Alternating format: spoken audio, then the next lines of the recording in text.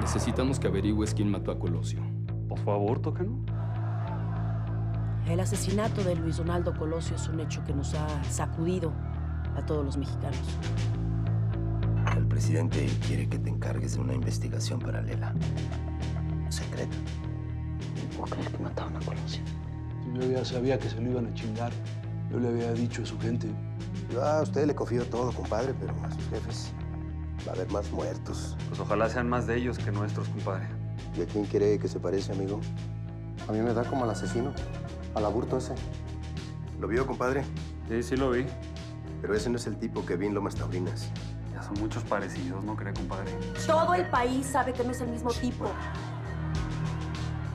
¿Y qué le dijo? Yo no le voy a hacer un favor al presidente.